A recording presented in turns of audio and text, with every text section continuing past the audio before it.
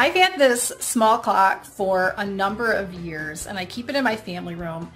And, um, you know, whenever the battery goes out, I replace it. So it seemed to stop working one day and I replaced the battery and it worked for a couple days and then it kind of stopped. And I thought, oh, the mechanism's broken. What am I going to do? So I found a place online where I could buy another piece. The thing I found out was they're very, um, they're not standard. And what fits one clock won't fit another clock. And so I called there and spoke to a man who um, listened to what I had to say, and then he told me a part number to type in to their website.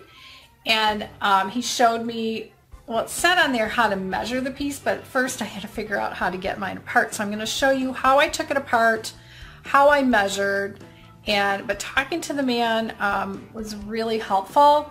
And then once I put in the part number, it had different kinds for each, for that part number. So I had to pick the kind I wanted, you know, not electric, I wanted just the battery kind. And then once I did that and show, then it asked me to choose the size of this, the length of the shaft because they come in different lengths depending on the clock. Then once I picked that, I was able to pick new hands. So the, the hands that I had for the other clock weren't going to work. And I got to pick these. Sometimes they're a little too long, so you have to measure how long you can take them. But if they're really thin at the other end, you can snip them off to shorten them. So I got this kind just in case I had to shorten it. I don't think I'll need to, but if it gets to the bottom, then I'll take some kind of super wire cutter thing or something and I'll snip the end off. So let me show you where I went online and then I'm going to also show you how I ended up getting the part and how I took this apart and put it back together with the new mechanism and how I got it working again so I can still have my little clock. The website I came to is clockparts.com and I had the guy on the phone after I found it and he had me type in the following um, item number into the search field MVT 7130A. And when I did that, this one popped up American made mini quartz movements and I clicked it. But then it comes up and I need to choose the shaft length. So as I'm taking my mouse around, it actually makes this bigger. So it's this length of this piece. So you can either scroll down or click choose shaft length and it'll scroll you down here. So you see all these different shaft lengths and this is what I had to um, measure and why. So I came in here to double check before I started filming this and I selected this one the smallest one and they're also in this drop down as well so the up to 1 8 inch is what I picked I think anyway so that's what you measure and you can see for each one there's a full length measurement on the right and a smaller just the threaded piece measured on the left so you pick that and then you click to add to cart and as you see up here, it says free clock hands. At checkout, you'll be prompted to select your free set of hands that go with this particular item. So I click add to cart and then it's going to say you've chosen this, but you get a free hour and minute hands. So it wants to know if you need ones that are under three inches or between three inches and five inches, or if you don't need them at all. But my, the old hands of the old mechanism only fit the old mechanism. So mine were under three inches and I click that and then I get presented with various sets of hands. And these are also measured, which is really tiny on the screen, but at least gives you some different choices. Now mine, um, I would have liked this one in the lower left, but it's one and three quarters inches long and there really wasn't enough length for me to trim it off. So I actually, I think I went with the, I think I went with this one, the one and three eighths because no, that's not the one I did. I did this one and three quarters because this length is longer and I can trim this off if I need to even this one over here, when it's really small at the end and there's some length there, they're long enough where you could snip off anything that's a little longer. So you click to choose it and you can double check and then you can say add to cart. You can also choose a different color. So this one that I chose comes in either black or brass and I wanted black. So let's go back up and make sure that black is chosen. Choose hand color. Nope, it wasn't chosen. So black and add to cart. And now I'm ready to check out. So it gives you the hands for free.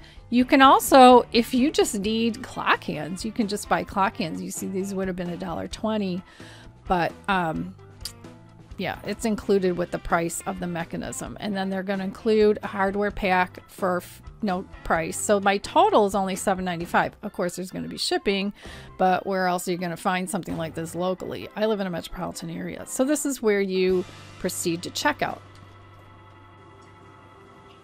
So here's my clock and I'm going to zoom in a bit because this is the part that I first found confusing. This little part here um, either will screw off, remember it's lefty-loosey, righty-tighty, and I'm doing lefty-loosey and nothing's happening. So I got out my, well I have two pairs of needle nose pliers and so I just grabbed these when I actually was on the phone with the guy at the company. And yeah, I didn't do that. I don't want to break it there. I pulled it off and that's that. Okay, so I'm going to pull the hands off carefully so I don't mess anything up. And then this clock face is actually paper. Um, and then I'm going to unscrew it from the back. Now this is a good battery because I had changed batteries thinking that it was a battery problem and it wasn't. So I'm just going to take that out. All right. And then there's a little couple little washer things here and now I'm ready to replace. So what I had to do though that I want to show you, I had to measure this. So I'll go online and hopefully I can find on their website the same part. And then this part, which is, you know, with the battery and it's pretty simple part. So I had to measure this. Let's see if I can. I'm working around the camera. Um, I had to measure this in inches. So yeah, all I'm using is the best um, ruler I have. So I'm measuring from the little edge here and you can see there's a gold tone or brass tone piece and then a plastic piece. So I was telling him on the phone how big that is and luckily because my clock doesn't have a plastic or glass um, lens on the cover, like cover, it's not, if it was a little bit longer, it's not going to be a problem. So that's what you're measuring. All right, so this is the old one. And now I'm ready to put a new one. And you'll notice inside my clock, there's this little thing that it's going to screw into. Yeah. Probably like a lot of you, I'm not all that technical. So here are all the parts it came with. And here are the hands are in here. I may or may not need some of these parts. Like the old one, I'm going to put these rubber washers in here and let's see if that makes a difference.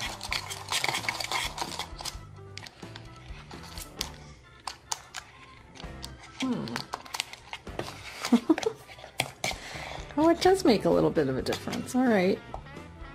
I don't want it to make, it shouldn't matter where the battery is. All right, so here we are. I got the new hands out and um, I'm going to start it at 12 o'clock and push that all the way down and then the longer one and this should sit not directly on top but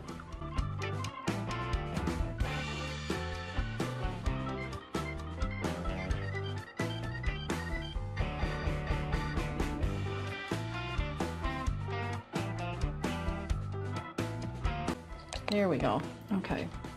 This screws on.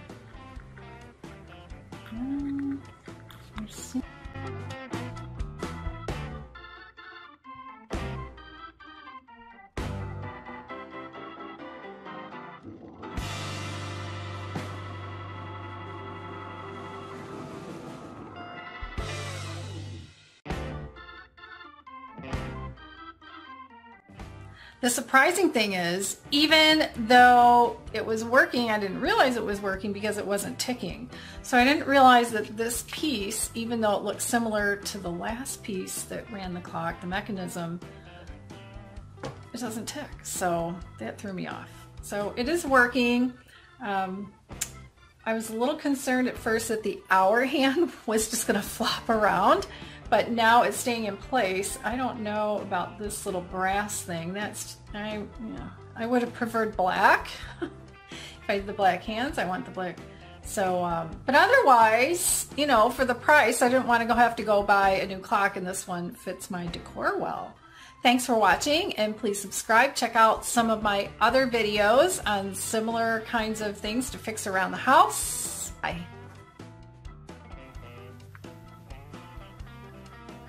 And now I can actually hear it ticking when I hold my ear up to it. I could not hear it at all, which is nice because I don't like a loud ticking clock anyway. Yep, I hear it ticking.